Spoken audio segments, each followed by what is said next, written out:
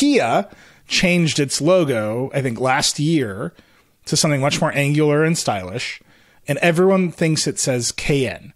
We have run stories, other people have run stories that people see the cars and then they start Googling KN car.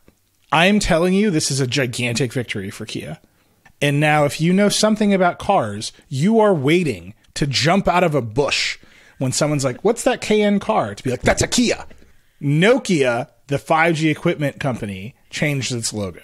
Now, Nokia, which is not the company that makes Nokia phones, although there is the company that makes Nokia phones, there is another company that is still Nokia, that is the old Nokia, that does not make phones and wants people to know that it does not make phones. And so they did not change their name to something that is other than Nokia, which is still on phones that are coming out now.